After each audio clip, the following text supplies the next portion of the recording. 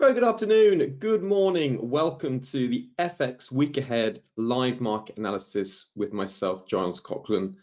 I do hope everybody is doing well. Good to see some good familiar names here. Alejandro, good to have you here. Letza, Fahad, Gavrel, welcome back. Horatio, good to have you here. Mihai, welcome back. Navas, Ute, I think very warm welcome to you. Uh, if you could just let me know you can see my screen and hear my voice okay using the chat function or the question function, that would be great.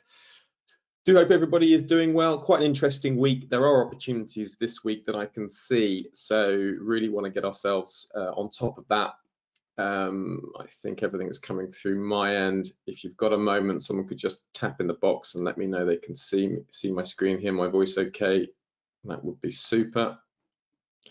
Uh, yeah, Fahad, excellent. Right, so uh, don't forget, as we look at different instruments, exits, different um, trading scenarios, this is not a trading signal service or trading advice. The whole idea of this is educational. You look over my shoulder. Uh, thank you, Ella as a professional uh, trading analyst, and uh, you see how I go about making my own personal trading decisions. Uh, the workshop for Wednesday will be a trade plan for US inflation data. It may actually be the US initial actually, yeah, I've actually got the wrong screenshot up there. Yeah, we should be having, this is this week's menu. There we go. On Wednesday, we will be looking at a preview and trade plan for the US initial jobless claims. So I'll just be uh, showing you what my preview is for that um, and how I'm looking at trading the US initial jobless claims. I'll show you some of the key kind of things to be looking out for. New Zealand inflation, that's going to be important this week, particularly after the RBNZ met last week. I'll just quickly run through what they're saying. Uh, I think we've got some CAD inflation data out this week as well. And we've got some UK inflation data important. Going to have a quick look at China's uh, outlook there, um, as well as gold and silver. A lot of upside we saw last week in gold and silver. I'll explain why that is the case and what's potentially driving it, as well as looking at OPEC uh, and whether OPEC Plus put a bottom in prices. So I'll just be running through that as well. Okay, folks, quite a lot to cover, so I'm going to get stuck in without further ado. So just going to go over the charts. First thing, just to build up your um, knowledge. Okay, so last week we had the Bank of Canada meet, and what they decided to do was raise interest rates by 25 basis points. That's the second 25 basis points uh, hike in two meetings. And um, make sure you go along, to, go along to the blog, blog.hycmlab.com, um, and make sure you follow along the central bank watch. I cover all the central banks there, meeting by meeting. So if you want to know what the central banks are doing, which you need to for currency trading, um, then you want to be checking that out. And what they basically said, and you'll read if you read through this in detail later, you'll see that basically the Bank of Canada is sort of saying that they've hiked by 25 basis points and they may need to hike more if inflationary pressures get worse. So what this tells you is that they're concerned about inflation. So if we see inflation rapidly falling off, that will reassure the Bank of Canada. They're likely to do less in interest rates. That would weaken the CAD. Okay. If inflation is worse, and that would mean inflation is worse than the Bank of Canada expected. They'll need to hike interest rates even more, and that would support the CAD higher. Okay, so that's what's going on there with the uh, Bank of Canada, um, and just bear that in mind with the print. We also had a meeting last week from the Reserve Bank of New Zealand. Okay, now if you look at inflation in New Zealand, you can see it's still quite high well above the 2% target. You know, it's triple the 2% target, 6.7%. So what the RBNZ did at the last meeting is they kind of signaled mission accomplished. In other words, we, we, have done hiking interest rates, but they surprised markets a little bit because they indicated that they, they would be holding rates for the foreseeable future. So it added more of a staying weight to that picture. So they were sort of saying, yeah, we've hiked interest, We've finished hiking interest rates, but they were indicating that they might have to stay there for the foreseeable future. And if inflation surprises to the upside, then there may need to be another interest rate hike. So once again, inflation data for New Zealand is going to be crucial. Uh, that's coming out this week as well. So that should have, you know, that sort of helps set the tone uh, for the week. Now, as we went into this week, if you notice, what we've been seeing is a lot of dollar weakness. So if you look at the dollar, you see last week we dollar weakness, dollar weakness, dollar weakness. Why did we see that dollar weakness? That was for one very important reason. And that was last week we had a big miss in the US CPI data on Wednesday the 12th. Right? See that inflation data? Core inflation, this is the one that got the market's attention, came in below market's minimum expectations at 4.8%. So with inflation that low, it means the Federal Reserve will have to do less. So that's negative for yields, negative for the dollar. That's where the dollar fell. Hooray, hooray, the market says. UK inflation, uh, US inflation is uh, falling. And look, the headline 3%. Okay, so it's getting back towards that 2% target and the core is heading down lower as well. And that's why if you look at short-term interest rate expectations, you can see that short-term interest rate markets are now expecting a rate cut in the March of next year. So all of that just allowed the dollar to weaken last week. You see that from, you know, into the meeting with the CPI miss. And then when we had the miss on the 12th, right, dollar sold off that day, dollar sold off the next day. So that allowed stocks to gain. Why did stocks gain? Stocks gained on hopes of lower interest rates. Lower interest rates mean less restrictive environment for US companies, so stocks were gaining as well. That also allowed commodities to gain. So we saw with the drop in yields and the dollar, that supported silver and gold sharply higher. Look at silver. Absolutely stunning week last week for silver. You can see here, look at that. Fantastic.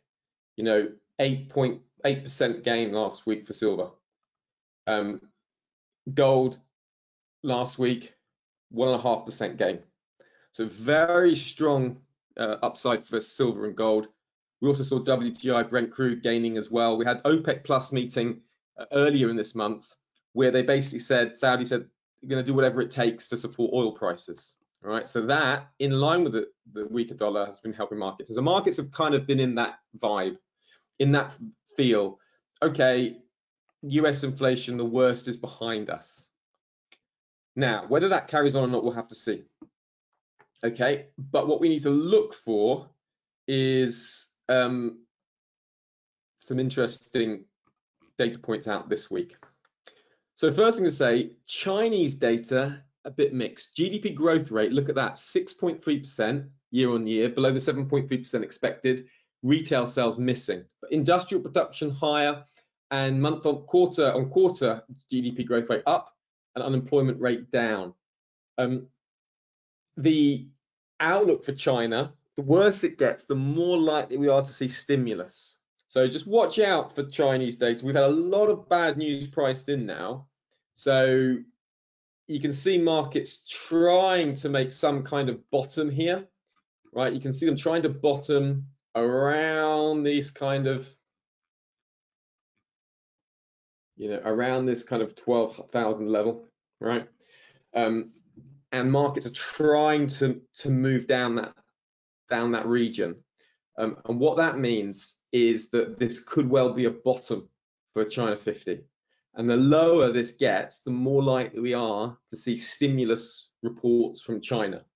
So with China's 50, you know, having fallen from, you know, the peak of 2021 and the trough of 2022, you can see that that is greater than the 45% fall.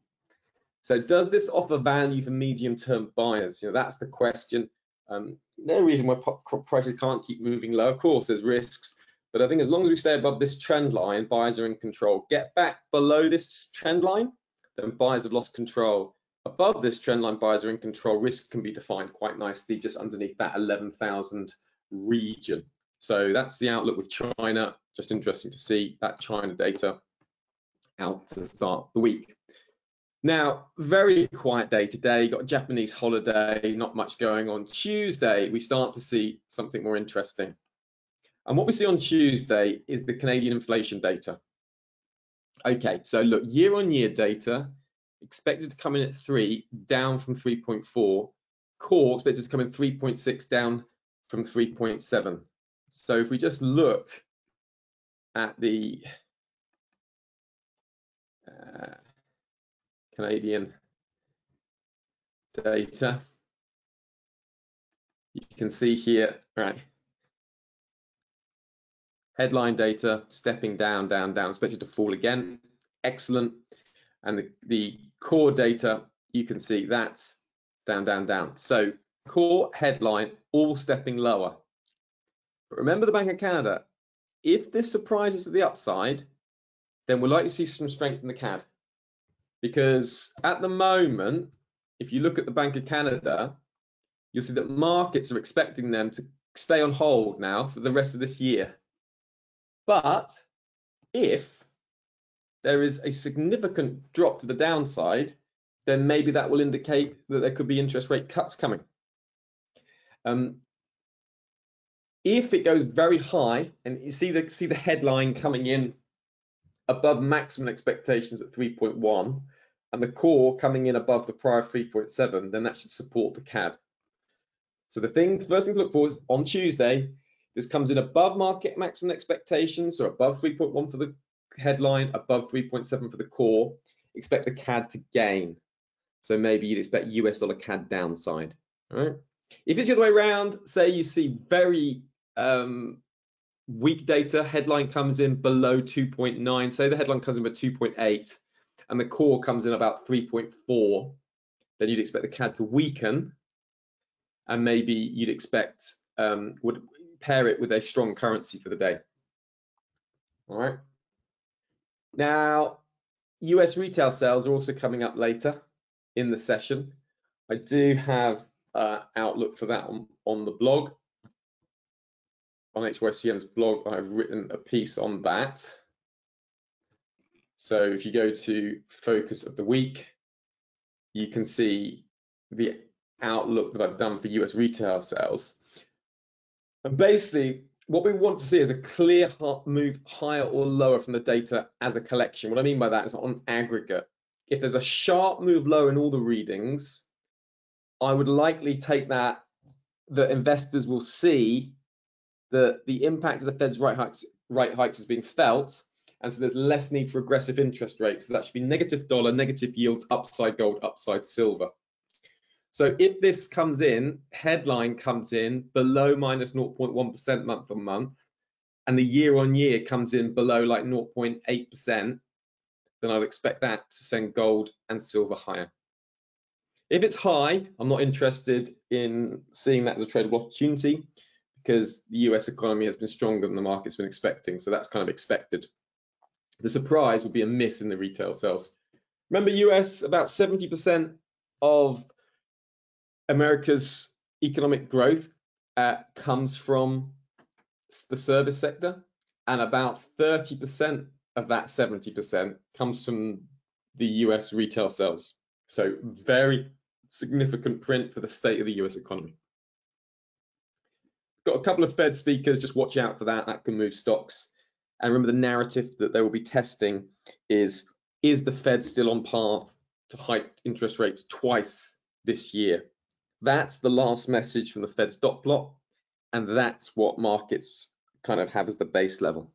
Now, then we have New Zealand inflation rate. Now, this is interesting. Look at the year on year. Expected to fall to 5.9, right? Um, and the and the quarter on quarter down to 0.9. The low is 5.8. So the best opportunity here would definitely be on a big miss in the in the data. Okay, and so what you're going to look for is a big miss in New Zealand inflation. Now, 6.7 is still quite high, isn't it?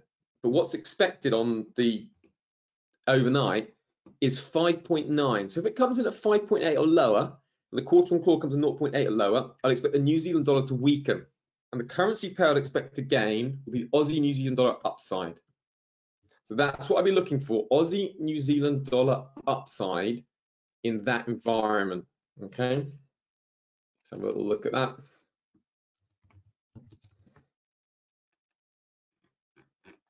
Okay, so you can see at the moment, since the sort of RBA turned more hawkish, we've had a little bit of upside.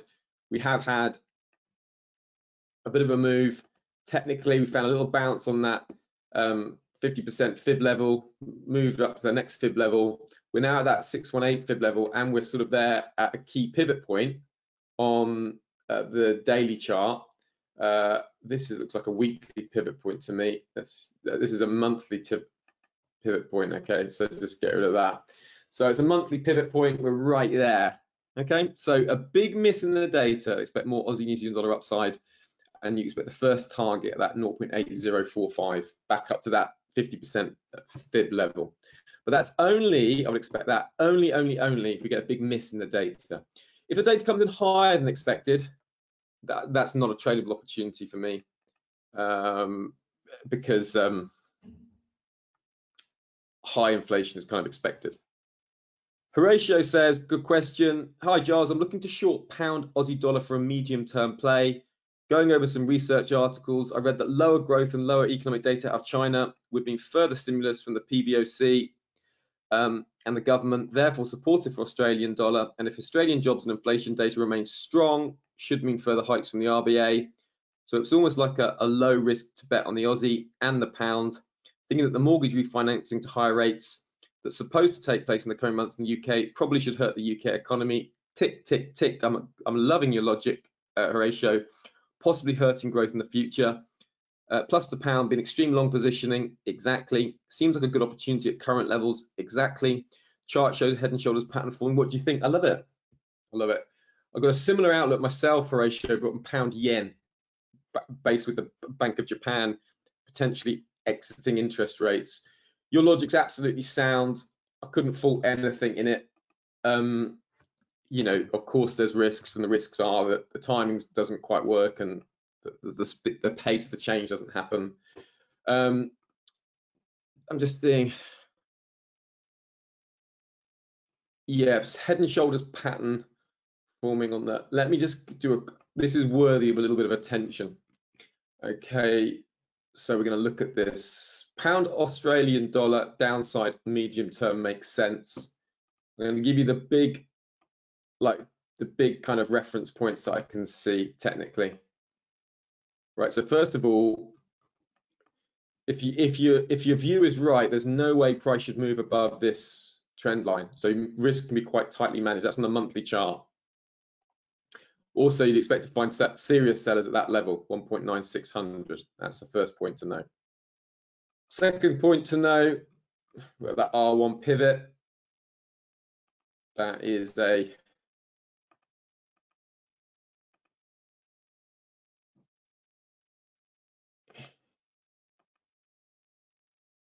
yeah, the monthly pivot point. Right, that makes sense. Uh, let's see what else I can see here. It's on the weekly chart still got this uh, resistance here, major level. Like stops above that R2, you think, gosh, you know, above that price swing point, that feels well out of the way. Bit heavy, that's the only thing. Possibly head and shoulders pattern forming. Yeah, see what I would like from this, and I think if this was me, Horatio, what I'd say is, look, if my view is correct, then this trend line is going to break. Um, you know what I mean? So I'd expect some momentum to the downside. Is this a head and shoulders pattern? If we start to see a, rounding pattern there, then the head and shoulders pattern will become that. That will become the neckline, and you get an extension from this 1.1900 region down to that S1 pivot and the 100 exponential moving average. So do you know, Horatio you know, you've got UK inflation data coming out on Wednesday. So I'll show you what we can look at, but potentially, so there's a big miss in the inflation data on Wednesday. selling pound Aussie dollar at market makes sense in anticipation of that break, in anticipation of a, of that forming a head and shoulders pattern. Do you see what I mean? Left shoulder, head, potential right shoulder. So we get to Wednesday, prices there or here, and then all of a sudden get a get big miss in the in the UK um, inflation data, or a big beat. Right, either will probably do. You'll probably see the pound pushing through. All of that makes sense. Excellent, Horatio. Excellent, excellent, excellent. Very sound logic. Um, so that was worth taking a little bit of a, a detour for. Um, now, this is the potential catalyst for what Horatio is talking about. Say that inflation print on Wednesday. I've been speaking, sending out comments to sort of UK media here on this um, this morning because it's such an important uh, data point. Um, yeah, yeah, that's it. Aussie jobs, UKC, you got it, you got it. I've just I've just seen your questions now, Horatio. You, you know, we're just in we're just in sync here. So what you got is the UK inflation data. If this comes in very low, core sub 6.6, headline sub 8%, then I would expect the pound to fall significantly because the markets will be pricing out some of that recent hawkishness that we've seen in the Bank of England pricing um, with interest rates. Look, it's expected to go above six percent now in the UK. Uh, that's that's for arguably, you know, from a week ago, five 25 basis point rate hikes. Um, that'll get priced out if this starts plummeting lower. Now, I'll tell you something. In the UK, this is June's data. Right? Uh, so this is June's data. Look at headline. That's quite heavy, isn't it? You know, 8.7 for April and May. June's data is expected to come out, is expected to fall. Core, look at that. It's just heading the wrong direction in the UK. Really wrong direction. So what a couple of analysts I've been reading are saying, okay, the time for UK inflation data to drop is July's reading. Why? Because that's when the kind of energy price cap change will hit the UK data. So this month, energy prices in the UK have dropped significantly for consumers and businesses. Um, that means that this data is still reflecting the higher energy prices, but July's print won't. So this is still likely to be high, but the next one is going to be the really important one. So just bear that in mind, Horatio. Um, but also bear in mind people are expecting the next one to be really important so you could start to see the pound losing value from now and i could see some people using a weak print here as a catalyst for further weakness in, in, in the pound um, so that's one thing now the other thing is the other risk is the stagflation risk so if this headline inflation comes in very very high like 7.2 percent and the core, yeah, core comes in 7.2, headline comes in 8.7, it means that there's a big problem in the UK. It means inflation has to be dealt with very, very seriously.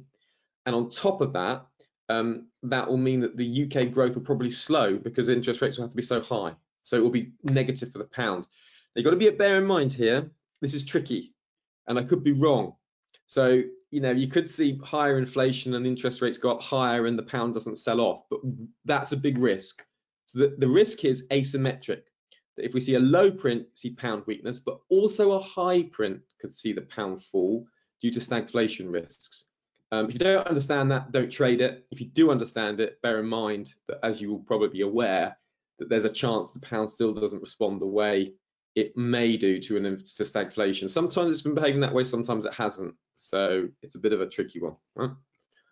Um, jobs data, 20th of July, been very strong jobs data in in Australia. And I think you've been seeing them response talk about that, the Reserve, Reserve Bank of Australia. They've mentioned that the, um, you know, labour data and inflation data is very important for the Australia. If, if, if Labour data surprises the upside. Expect the Aussie to potentially gain against the New Zealand dollar. Okay, so if we see on Thursday strong Aussie jobs, but we've seen weak UK inflation, then Horatio's uh, pun punching the air because pound Australian dollar weakness makes sense. Okay. Um, yeah, now I'll just show you something else, Horatio, because you'll be able to appreciate this. Is if you look at the pound yen, the narrative with the pound yen short, right, is that the Bank of Japan may eventually exit their yield curve control and start hiking interest rates. And if you look at the pound yen from a seasonal perspective, look at this seasonal pattern, like from when's today? Right, so from today, right, into the start of September, or even just there, you know, look, 65% plus falls there's been in the pound yen. So the yen does seem to strengthen around this time of the year. So pound yen is worth thinking about as well. Uh, just put that in your pot. But the pound Australian dollar can't fault it. And with those data points coming up, very, very lovely, Horatio. Thank you for bringing it to our attention. On Wednesday, I'll talk through uh, initial jobless claims. It's a tradable opportunity. I'll also run through the Aussie employment data. Um, so if there is that outlook on Wednesday, uh, I won't be there. So no, it's on Wednesday. I'll be looking at the um, initial jobless claims. But Wednesday, when I do the workshop, I'll run through this inflation print as well. Okay, so I will look at this and then I'll show you a potential um, situation that could materialize that pound Aussie outlook, which uh, makes sense. Uh, Japanese inflation data, you can see the headline 3.5, core 3.3%. Inflation is very low in Japan. If you just take a look at the print, you'll see, look, Japanese inflation comparatively low and moving in the right direction. But if this starts moving higher, and you, know, headline is 3.2%, um, core is coming in at 3.2 as well. But if that starts moving in the wrong direction, then you could see yen strength and more, you know, anticipation that the Bank of Japan may have to uh, hike interest rates, which would strengthen the yen. So bear that in mind for Friday. That takes us to the end of the week.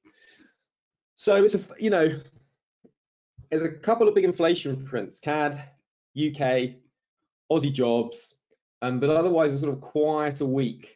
A little bit of US data, um, could see a bit of like, you know, choppy action in the dollar this week. Um, but that's probably, you know, that's the major things. Folks, good work. I will be back, scheduled to be back on Wednesday. Um, we will take a look at the workshop. And in that workshop, we'll be looking at the UK inflation data that's come out, as well as the US initial jobless claims. And that's potentially uh, another tradable opportunity for gold and silver. Okay, folks. Been absolute pleasure. Thank you very much for being here.